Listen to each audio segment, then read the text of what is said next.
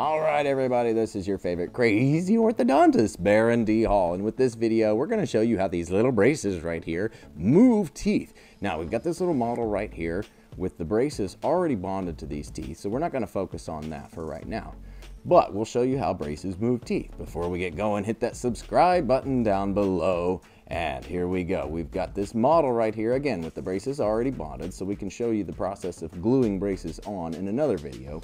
You'll see that some of these braces might not necessarily be in the perfect position, but that's okay. We're gonna show you why that's important later. So, first things first, we've got these flexible wires that look like this. The first wires that we start out with, they're made out of nickel titanium. As you can see, boing, boing, they've got a good stretch to them a good spring to them, and the important thing is that they always want to return to their original shape. So as you can see right now, they've got a nice U shape.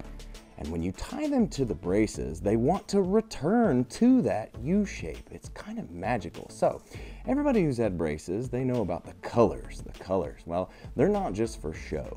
These colors are like little elastic ligatures that we use to tie those wires onto the braces. And that's where the money's at. So we'll show you with this first little ligature right here, this red one. You wrap it around the braces with the wire and that, again, that ties the wire into the braces. So when that happens, the wire can perform its magic and basically carry the teeth around and move them into that U shape that you saw the wire before. So we're gonna accelerate along and go really fast right here, where we just put all the colors on all these braces. Look at that. That's the dreaded pokey wire. Everybody who's had braces has had pokey wires that stick out the back like that. As the teeth unravel, the wires kind of start to poke out the back like that a little bit. And we use these little pliers to clip the wire. The pliers grab that wire and then we can remove it from the mouth and discard it. All right, so we're gonna fast forward again through here and we'll show you how to put the colors on the lower teeth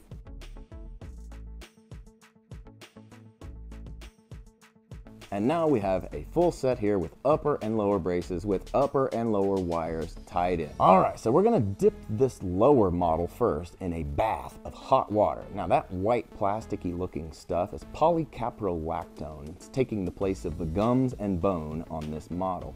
When you put it in hot water, it starts to turn clear like this and it softens up pretty cool. So you'll see me kind of pouring some more water in there just to keep the heat up. And then, oh wow, look, the teeth start to move. As that polycaprolactone softens up, the wire actually carries the teeth, carries the braces, and straightens them up into that U shape. Woo, isn't that magical and wonderful? Super cool. So, as you see, this first wire unravels and uncrowds the teeth a little bit.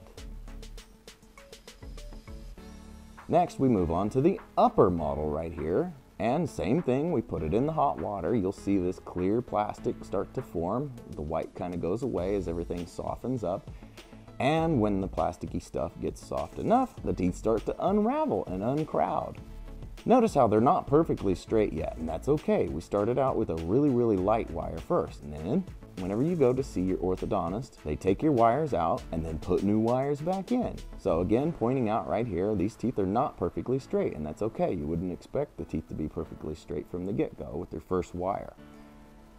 So this little thing right here, this is a power chain. Anybody who's had braces has probably had this. Sometimes we use it to close space, but other times we can use it for other reasons. For example, this molar back here is kind of tucked away and you couldn't even get the wire all the way back through that second to last molar because the back of the bracket was butted up against the very, very last molar. So we're gonna fast forward right through here and put this power chain all the way around here from one side to the other, halfway through the arch. I just put regular colors on the other half of the arch just so we could show you what this chain does. If you look right down the middle here on this right hand side, you'll see that those two middle teeth kind of start to separate from one another you'll see that here after that, that that back molar actually starts to move forward, giving it room then that you can put your wire to that very, very last molar and straighten those two out.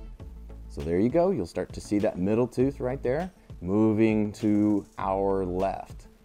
And that power chain is just pulling it over. It's an elastic chain that pulls teeth.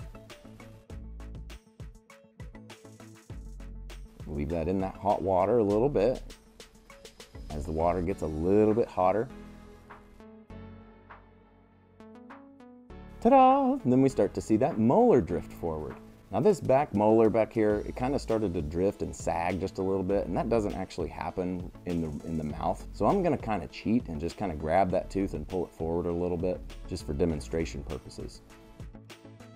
Either way, even if I wouldn't have done that, you would have been able to get your wire back to that back molar tooth and straighten it out.